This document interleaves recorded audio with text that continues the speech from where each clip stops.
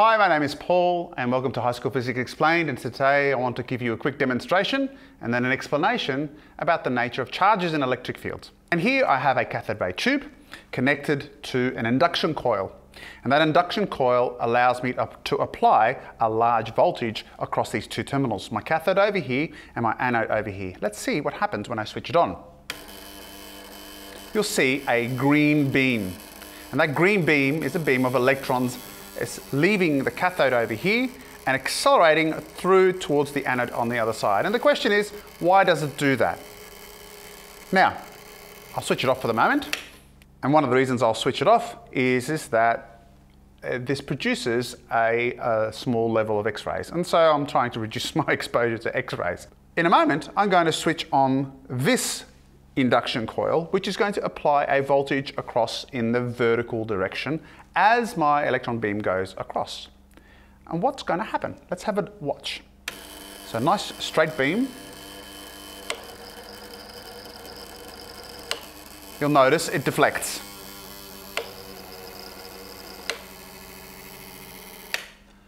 Now, it does fluctuate a bit, and that's because of the nature of the induction coil. It's sort of switching on and off to produce the high voltages that I require and causing it to fluctuate a little bit. But you'll notice that it definitely is being uh, deflected in a particular direction.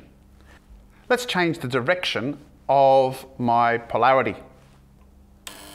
So now the polarity is in the opposite direction. See what happens.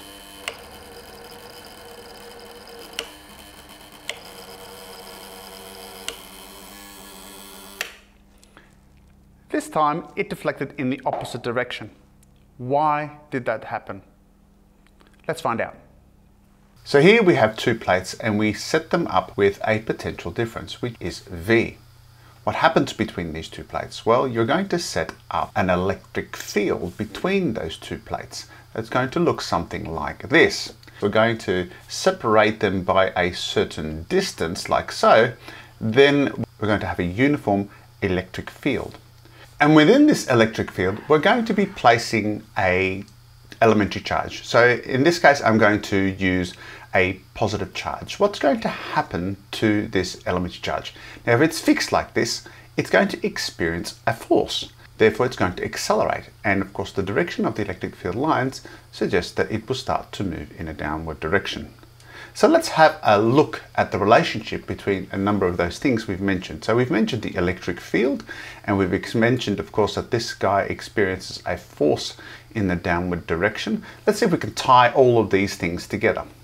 Well the first thing to remember is, is that the electric field is set up by applying a voltage over a certain distance. The second thing is that the electric field is defined by the force per unit charge. So if we combine those two things, we can see that the force is equal to VQ over D. Now, once you've established that force, you can of course determine also the acceleration by Newton's second law. That is, that the acceleration of my particle is going to be simply equal to the force we've just discussed divided by the mass of this particle. So now let's also talk about work. You may remember that work is done when you apply a force over a certain displacement. In other words, work is equal to force multiplied by the distance. And of course, the unit for that is in joules. So the work done is actually a measurement of the energy.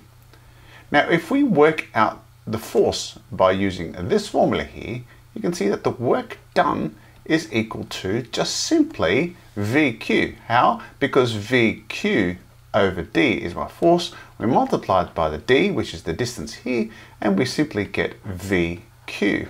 Now, if we rearrange this, you can see that the voltage is equal to the work done per Q. And now we've come full circle. I have a video which discusses voltage and the definition of voltage is amount of work done or energy per unit charge. So we've come full circle here in the relationship between all of these variables. Now, if we have of course, work or energy or work done, we know that can lead to one of two things. If we were to apply a force in the opposite direction to counteract the force of attraction towards the negative plate down here, then we are doing work against the field and so we are increasing its potential energy. So the work done can result in a change in potential energy and that's a symbol for potential energy. But it could also to simply release it, it's going to accelerate, which means its velocity is going to increase. We're getting an increase in kinetic energy. In this case, the work is done on the charge by the field, not against the field. And so what we have is that the work done ends up being a change in kinetic energy.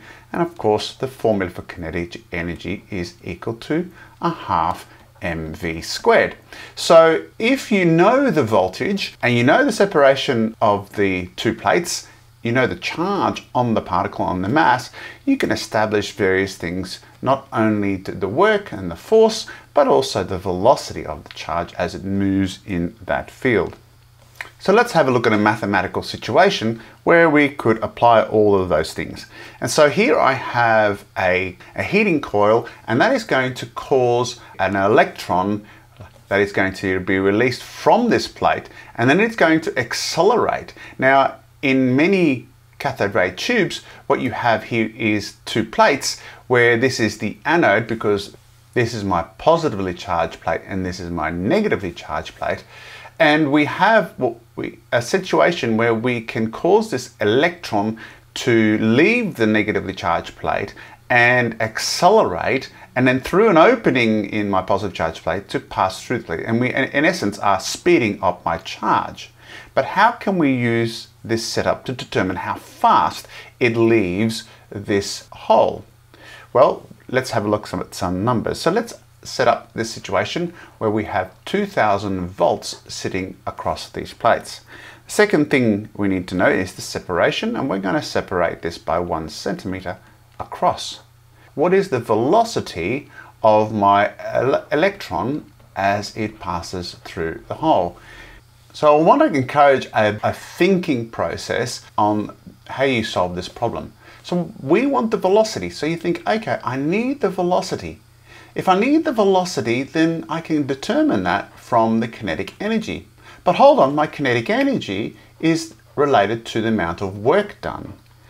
And of course, work, I need to know the force that is applied as well as the distance. I now know the processes that I need to have in order to work this out. And I'm going to do it this the long way initially because you can do it a short way. Well, the electric field is equal to the voltage divided by the distance. And so we have 2000 volts over a distance of one centimeter, which is 0.01 meters. And so our electric field strength as 200,000 volts per meter or newtons per coulomb, which is the other alternate unit for electric field. I now can work out the force, and because I'm talking about an electron, the force is equal to EQ, and so E we established was already 2 by 10 to the power of 5, and I multiplied by the charge on the electron, which is 1.6 by 10 to the power of negative 19 coulombs, and I get 3.2 by 10 to the power of negative 14 newtons. The next thing I need to do is to work out the work done. The work is the force multiplied by the distance that the electron travels. And so we get 3.2 by 10 to the power of negative 14 multiplied by 0.01 and we get 3.2 by 10 to the power of negative 16 joules. So that's the amount of energy that this charge gains. So the kinetic energy, which is a half mv squared, is equal to the value of the work done that we just discussed. If I then substitute in for mass, which is the mass of an electron, then we get the velocity squared is equal to 2 times 3.2 by 10 to the power of negative 16 divided by the mass of the electron, and we're just going to round it to 9.1 by 10 to the power of negative 31. When we calculate that out, we get a value for velocity of 2.57 by 10 to the power of 7 meters per second. Now I've gone here the long way to work out all these things. If you remember, I mentioned that the work done is simply equal to the voltage multiplied by the charge. And that means I can get to the same value by simply multiplying my voltage, which is 2000, multiplied by my charge, which is 1.6 by 10 to the power of negative 19, and I'll get the same value. So that's how you work out the velocity of the charge as it passes through the electric field. Now let's re-examine this question, but the issue we have practically is that a particle between two electric fields generally can't be placed in a fixed position, so it simply accelerates towards the other side. No, what we end up doing is we end up firing my charged particle through the field. In other words, it has a certain velocity in, let's say, in the horizontal direction. But the processes are still the same. Now, what sort of motion will this particle exhibit as it passes through the field? So again, thinking processes here. Our velocity in the horizontal direction is constant. However, in the vertical direction, my velocity will be changing. In other words, it will be increasing at a constant rate. Again, why is that? Well, because we are experiencing a force. That force, of course, is constant. And that will mean we have an acceleration, which is also constant. And in terms of my charge here, if this is a little positive charge, that acceleration will be in the downward direction. So what type of motion is where we have two motions that are perpendicular to each other where one is experiencing constant acceleration and the other one is experiencing no acceleration, that is the velocity is constant. Well, that of course is projectile motion. This will curve with a lovely parabola. So projectile motions is not simply something in the domain of gravitational fields. Projectile motion is any case where you have acceleration in one direction and no acceleration at 90 degrees to that as long as the acceleration is a constant value, which it is in this case. Let's now look at this situation with some numbers. So let's apply a voltage across these plates and we're going to make this 1000 volts. And then we're going to separate this by a distance of one centimeter between the plates and my velocity at which it enters the field is going to be equal to 2 by 10 to the power of 7 meters per second. The question I have is, how far through the field will it enter before it strikes the plate? In other words, what I'm really asking is, what is the range of my particle as it enters the field? Now, again, our thinking processes need to go into place here I need to know the range. Therefore, if I'm needing to know the acceleration for a projectile motion, I need to know the force. How do I work out the force? I need to know the electric field. How do I know an electric field? Because I have a voltage of a certain displacement. So let's start the process off and I'm going to start over here with the, the values in determining the acceleration. Well, the voltage is equal to ED and so therefore E is equal to 1000 divided by 0.01 and we get a value of 1 by 10 to the power of 5 volts per meter. The force that I experience is going to be equal to EQ and that's going to be equal to 10 to the power of 5 multiplied by the charge. Now the charge of a single proton is 1.6 by 10 to the power of negative 19 coulomb. We get 1.6 by 10 to the power of negative 14 newtons. Of course, the acceleration is equal to the force divided by the mass, and so we have our 1.6 by 10 to the power of negative 14, and we divide that by the mass. Now, this is the mass of a proton, and the mass of a proton is 1.67 by 10 to the power of negative 27.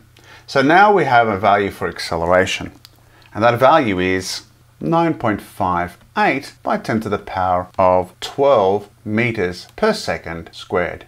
Now this becomes just a simple projectile motion problem. You're simply assuming, of course, that we are starting from a higher position. The total distance that it moves down is this plate separation.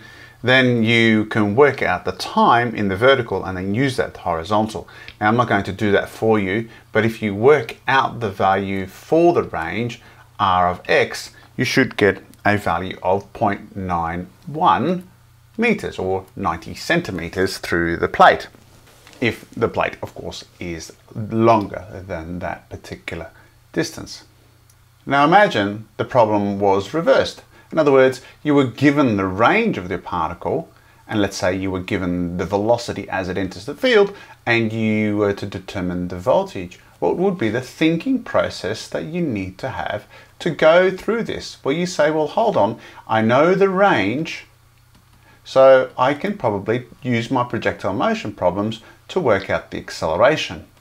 Now, once I determine the acceleration, and let's say I'm given the mass of my particle, I can then work out the force of my particle. Now, if I have the force of the particle, I can therefore work out the electric field that the particle is entering. And then finally, of course, I can work out the voltage across the plates. So that's a sort of thinking process you might have to apply if the question was, let's say, inverted. Now I hope that has helped you understand how charged particles move through electric fields. Well, I hope that helps you understand the concepts. Thanks for watching. Please remember, like, share and subscribe. And by the way, drop a comment down below if the video particularly has been useful. And finally, consider supporting me via Patreon. The idea is to develop resources and equipment to continue to teach physics at a high school level. I'm Paul from High School Physics Explained. Bye for now.